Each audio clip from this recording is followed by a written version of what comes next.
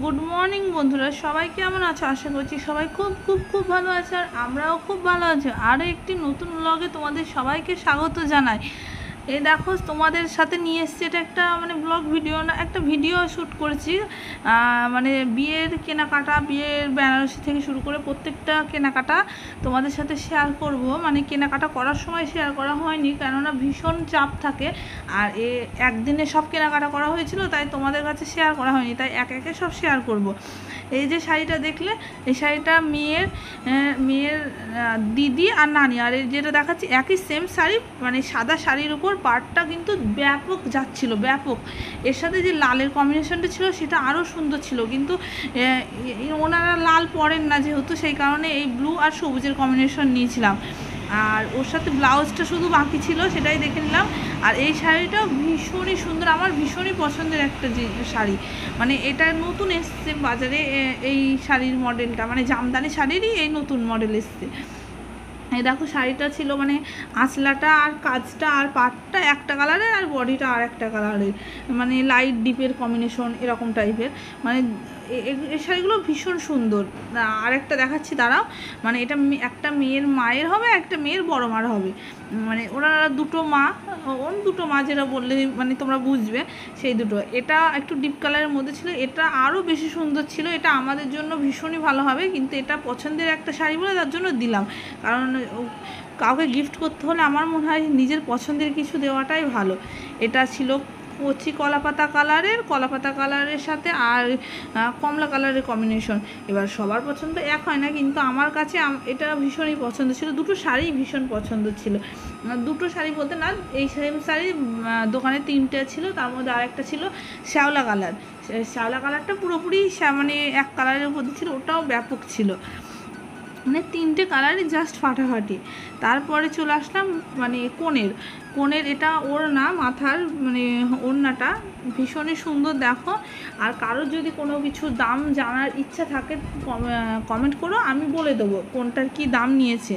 তারপর রুমাল, গামছা মানে যেসব মানে লাগে আর কি। তারপরে ছিল, এটা হলো গায়ে হলুদের শাড়ি মানে গায়ে হলুদ মাখবে যে শাড়ি। এটা সুতির শাড়ি ছিল তার জন্য, কারণ এটা পরে হলুদ মাখবে, স্নান করবে সেই কারণে। আর এর সাথে ছিল একটা সায়া আর একটা হলুদ কালারের ছাপা ব্লাউজ। আর এটা ছিল ক্ষীর খাওয়ার জন্য। মানে আমাদের গায়ে হলুদের রাতে সবাই মানে মেয়েকে খাওয়ায় বা ছেলেকে খাওয়ায় কোণের এটা ক্ষীর খাওয়ানো ছিল। এটা কাতান বেনারসি ছিল, দু কালারের, একটা ব্লু আর লাল কালারের মধ্যে। ফার্স্টে ব্লু আর সবুজ কালারের মধ্যে দিয়েছিলাম, কিন্তু আমার ছোটো মাসি বলল এই ব্লু লালের সাথে কম্বিনেশনটা বেশি ভালো লাগছে মানে ফুটছে বেশি। সেই কারণে আর কি ব্লু লালটা আবার দেওয়া হয়েছে। আর এর সাথে একটা ব্লাউজ দিয়েছি মানে বেনারসি শাড়ির সাথে পরার মতো, কারণ এটা বেনারসি বললেই চলে। এই, আর হাতে কুচি কুচি ছিল অবশ্য এই শাড়িটা। আর এই শাড়িগুলো সব কিছুই কিন্তু আমরা কৃষ্ণনগর থেকে কিনেছি। আর জুয়েলারি টুয়েলারি সব কিছুই আমরা কিনেছি নবদ্বীপ থেকে। আর সব মানে পাইকারি দোকান থেকে আর আমাদের নিজের দোকান থেকেও আছে অনেক কিছুই। আর এই শাড়িটা হলো আমি আগের দিন যে শাড়িটা পরে গেছিলাম আহ, কৃষ্ণনগর তোমাদের দাদাভাইয়ের সাথে ঘুরতে সেম সেম শাড়ি। আমারটা ছিল রয়্যাল ব্লু আর এটা হলো নেভি ব্লু। আর এর সাথে একটা খুব সুন্দর ব্লাউজ ছিল। ব্লাউজটা তো ক্যামেরায় খুব একটা ভালো আসেনি, সেই কারণে তোমাদের আমি বোঝাতে পারলাম না। আর একটা সায়া ছিল, এটা হলো যেটাকে বলে নিয়ে পড়া যেটাকে বলে মানে স্নান টান করে বিয়ের দিন গায়ে হলুদ মেখে স্নান টান করে এই শাড়িটা পরবে। তারপর রেডি টেডি হবে, তারপর এই হলো আসল মেন আইটেম বিয়ের বেনারসি। আর বেনারসিটা ছিল এক কালারের উপর, আর এটা হলো সায়া, কাজ করা বিয়ের সায়া, আর এটা হলো বিয়ের ব্লাউজ আর এই হলো বিয়ের বেনারসি। এক কালারের উপর ভীষণই সুন্দর ছিল আর এই এই লতা পাতা কাজটা আমার খুবই ভালো লাগে। আর ক্যামেরাটা কেন জানি না, মোবাইলটা এই দুদিন ধরে খুবই ডিস্টার্ব করছে। না হলে আগে কিন্তু এরকম হতো না। এর মধ্যে চলে এসেছিল আমার একটা চাস্তো কাকার মেয়ে। সে সবসময় না এইটি পার্সেন্ট টাইমই খালি গায়ে থাকতেই পছন্দ করে। কেন জানি না, ওকে যতই বলা হয়, ও তাও কোনো ব্যাপার নেই। মানে ওর গরমটা একটু বেশি ও বলে। এই কারণে ছোট অবশ্য। ছোট, ওই পাঁচ, ছ বছর এরকম বা সাত বছর এরকম হবে।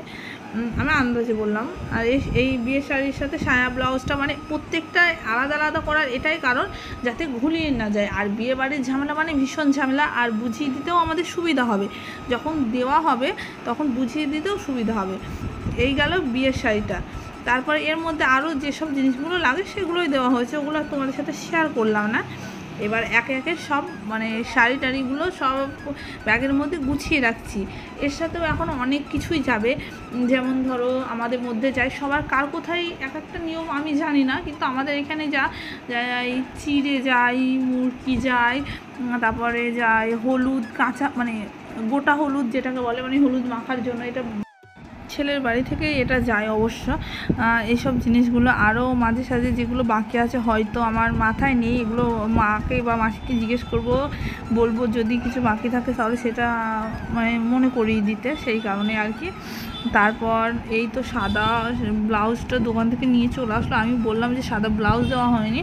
মানে মেয়ের দাদির আর নানির যেটাকে মানে শাড়িটা দিয়েছিলাম। তার মধ্যে থেকে ব্লাউজ বেছে নিচ্ছি। বত্রিশ সাইজের দুটো ব্লাউজ, দুজনই বত্রিশ সাইজই লাগবে অবশ্য।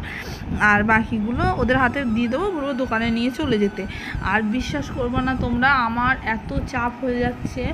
মানে আমার মেয়েদের তো এক জ্বালা, তারপরে আবার মানে বিয়ে বাড়ি, বুঝতেই পারছ কীরকম যে মানে চাপ হয়ে যাচ্ছে। মানে কাজ না করলেও মনে হচ্ছে যেন কাজ করে উঠতে পারছি না সেরকম একটা। আর কোনো কিছুরই ঠিকমতো টাইম পাচ্ছি না।